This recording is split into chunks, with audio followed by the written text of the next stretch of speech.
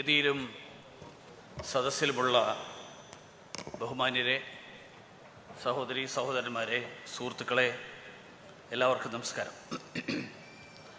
മാതൃഭൂമി ഒരു നൂറ്റാണ്ട് തികക്കുന്ന ഈ ആഘോഷത്തിൽ പങ്കുചേരുന്നത് ഒരു രാഷ്ട്രീയ പ്രവർത്തകൻ എന്ന നിലയിലും വ്യക്തിപരമായും ഏറെ അഭിമാനം തരുന്ന ഒരു കാര്യമാണ്.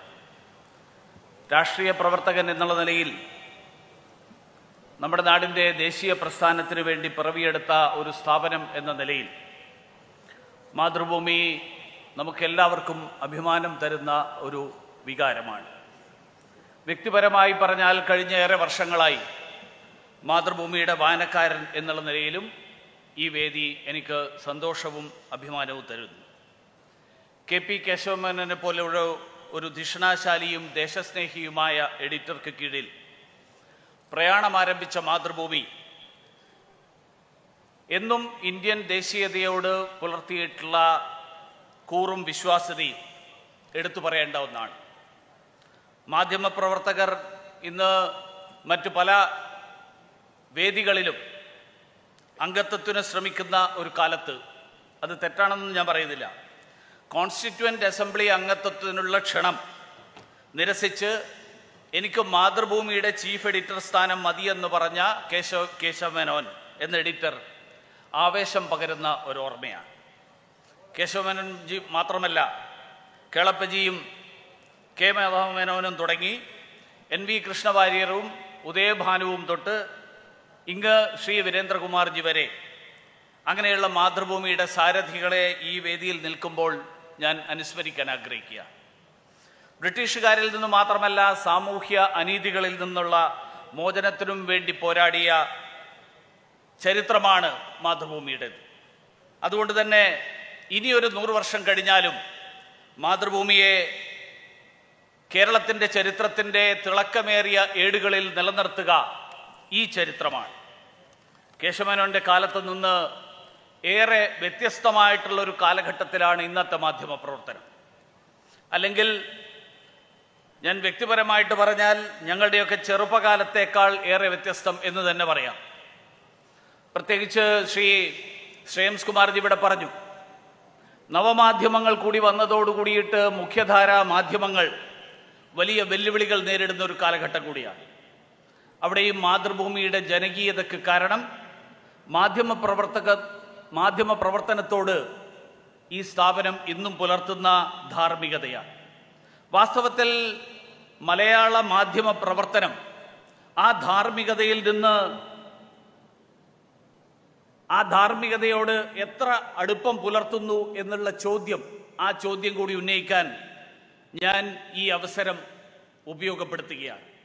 ഇതൊരു ക്രിയാത്മക വിമർശനമായി കണക്കിലെടുത്തുകൊണ്ട് അത് ആവശ്യമായിട്ടുള്ള ചിന്തക്ക് വിധേയമാക്കണം എന്നുള്ള അഭ്യർത്ഥനയോടുകൂടിയാണ് ഞാനിത് പറയുന്നത്. മാതൃഭൂമിയുടെ മുൻ editor Shri M D Nalappat ഈയിടെ എഴുതിയ ഒരു ലേഖനം വായിക്കാനിടയായി. അതിൽ അദ്ദേഹം ഇങ്ങനെ പറയുന്നു ഒരു എഡിറ്റർ സ്ഥാപിത താല്പര്യക്കാരുടെയും അധികാരവർഗത്തിന്റെയും ഇഷ്ടം പിടിച്ചു പറ്റുന്നുണ്ടെങ്കിൽ അയാൾ മാധ്യമ പ്രവർത്തനത്തിന്റെ ധർമ്മമനുസരിച്ചല്ല പ്രവർത്തിക്കുന്നത് എന്ന് വേണം മനസ്സിലാക്കാൻ. കാരണം ആ ധർമ്മം പൊതുജന താല്പര്യം സംരക്ഷിക്കുക എന്നത് മാത്രമാണ്. ശക്തരും സ്വാധീനശേഷിയുള്ളവരും വെറുക്കുന്നെങ്കിൽ എഡിറ്റർ വായനക്കാർക്ക് വേണ്ടി ജോലി ചെയ്യുന്നു എന്നർത്ഥം. അതാണ് മാതൃഭൂമിയുടെ ദൗത്യം എന്നാണ് മാതൃഭൂമി സ്ഥാപിച്ച മാതൃഭൂമിയുടെ പൂർവസാരഥികളായിരുന്ന ആളുകൾ. അവർ മുന്നോട്ട് വെച്ചത് ആ ആശയം പിന്തുടരാൻ മാതൃഭൂമിക്ക് സാധിക്കട്ടെ എന്ന് ഞാൻ ആശംസിക്കുകയാണ്. ശ്രീ എം ടി നാലപ്പാടിന്റെ ഈ നിലപാടിനോട് അങ്ങേയറ്റം ആദരവുണ്ട്.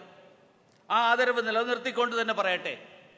മാധ്യമധർമ്മം എന്ന മഹത്തായ ഉത്തരവാദിത്തോട് എത്ര കണ്ട് നീതി പുലർത്താൻ പ്രത്യേകിച്ച് കേരളത്തിലെ മാധ്യമ പ്രവർത്തനങ്ങൾക്കും മാധ്യമ പ്രവർത്തകർക്കും മാധ്യമങ്ങൾക്കും സാധിക്കുന്നുണ്ട് എന്നുള്ള ആത്മവിമർശനം നടത്തേണ്ട കാലമാണിത് എന്നാണ് എന്റെ വിനീതമായ അഭിപ്രായം. കേരളത്തിലെ മാധ്യമ പ്രവർത്തനം സൂക്ഷ്മമായിട്ടൊന്ന് പരിശോധിച്ചാൽ ഈ കഴിഞ്ഞ നിയമസഭാ തെരഞ്ഞെടുപ്പ് കാലത്ത് എം ഡി നാലപ്പാട് പറഞ്ഞതിൽ നിന്നും എത്രയോ ദൂരെയായിരുന്നു കേരളത്തിലെ മാധ്യമ പ്രവർത്തനങ്ങളുടെ മാധ്യമ പ്രവർത്തകരുടെയും പല മാധ്യമങ്ങളുടെയും നിലപാട് എന്ന് വ്യക്തമാക്കും. വാസ്തവത്തിൽ പ്രചാരവേല ഏത് മാധ്യമ പ്രവർത്തനം ഏത് എന്ന് തിരിച്ചറിയാൻ കഴിയാത്ത ദൗർഭാഗ്യകരമായിട്ടുള്ളൊരു സാഹചര്യം അന്നുണ്ടായി എന്ന് ഞാൻ പറയുമ്പോൾ ദയവ് ചെയ്ത് എന്നോട് ക്ഷമിക്കുക. ഞാൻ എന്റെ മനസ്സിൽ തോന്നിയിട്ടുള്ള അഭിപ്രായങ്ങൾ ഞാൻ പ്രകടിപ്പിക്കുകയാണ്. ഓരോ മാധ്യമ പ്രവർത്തകർക്കും വ്യക്തിപരമായിട്ടുള്ള രാഷ്ട്രീയമുണ്ടാകാം. ചില രാഷ്ട്രീയ പാർട്ടികളോട് ഇഷ്ടമുണ്ടാകാം. മറ്റു ചിലരോട് അനിഷ്ടമുണ്ടാകാം. ഇതൊന്നും ആർക്കും നിഷിദ്ധമായിട്ടുള്ള കാര്യമല്ല. പക്ഷേ എന്റെ ചോദ്യം മാധ്യമ പ്രവർത്തകരെന്ന നിലയിൽ അത് നിങ്ങളുടെ ജോലിയെ സ്വാധീനിക്കുന്നുണ്ടെങ്കിൽ നിഷ്പക്ഷത എന്നുള്ളത് ഒരു കാപട്യമല്ലേ? ഞാനിത് മാതൃഭൂമിയോട് ചോദിക്കുന്നതല്ല. കേരളത്തിലെ മാധ്യമ പ്രവർത്തന രംഗത്തെക്കുറിച്ചുള്ള എന്റെ വിലയിരുത്തലാണ്. ഒരു രാഷ്ട്രീയ പ്രസ്ഥാനത്തോട് വെച്ച് പുലർത്തുന്ന അന്ധമായ വിരോധം ബോധപൂർവം ജനങ്ങളെ തെറ്റിദ്ധരിപ്പിക്കാനുള്ള ശ്രമം അത് കള്ളം പറഞ്ഞിട്ടാണെങ്കിലും ഇതെല്ലാം നിഷ്പക്ഷ മാധ്യമ പ്രവർത്തനം എന്ന് വിലയിരുത്താൻ പറ്റുമോ? എന്തുകൊണ്ടാണ് നമ്മുടെ മുഖ്യധാര മാധ്യമങ്ങളുടെ പോലും വിശ്വാസ്യത ജനങ്ങളുടെ ഇടയിൽ ഇടിയുകയും ആ സ്പേസ് സമൂഹ മാധ്യമങ്ങൾ കൈയടക്കുകയും ചെയ്യുന്നത് എന്ന് വസ്തുനിഷ്ഠമായി പരിശോധിക്കാൻ മാധ്യമങ്ങൾക്ക് നേതൃത്വം നൽകുന്നവർ തയ്യാറാവേണ്ടതല്ലേ? ഈ കഴിഞ്ഞ ഇപ്പോൾ ഈ അടുത്ത ദിവസം അഞ്ച് സംസ്ഥാനങ്ങളിലെ തെരഞ്ഞെടുപ്പ് നടന്നു. തെരഞ്ഞെടുപ്പിന്റെ ഫലം പ്രഖ്യാപിക്കുന്നതിന് മുൻപ് പലപ്പോഴും മലയാള ടി വി ചാനലുകളുടെ വിശകലനങ്ങൾ എന്നെ അത്ഭുതപ്പെടുത്തിയിട്ടുണ്ട്. ചിലപ്പോഴെങ്കിലും ഒരു മലയാളി എന്നുള്ള നിലയിൽ അമർഷം തോന്നിയിട്ടുണ്ട്. ഉത്തർപ്രദേശിലെ ഒന്നും യാഥാർത്ഥ്യങ്ങളുമായിട്ട് ഒരു ബന്ധവുമില്ലാത്ത കാര്യങ്ങളാണ് പല മാധ്യമ പ്രവർത്തകരും പറഞ്ഞിരുന്നത്.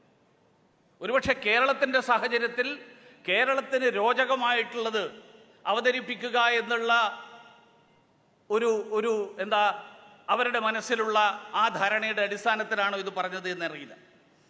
നാല് സംസ്ഥാനങ്ങളിലെ തെരഞ്ഞെടുപ്പ് ഫലം വന്നപ്പോൾ ആ ഫലം വന്നപ്പോഴും സംഭവിക്കാൻ പാടില്ലാത്തത് എന്തോ സംഭവിച്ചു എന്ന മട്ടിലാണ് പലരും ഈ കാര്യങ്ങൾ വിലയിരുത്തിയത്. ഉത്തർപ്രദേശിലെ ജനങ്ങൾ എന്താണ് ഇത്ര വിവരമില്ലാത്തവരായത് എന്നായി വിശകലനം.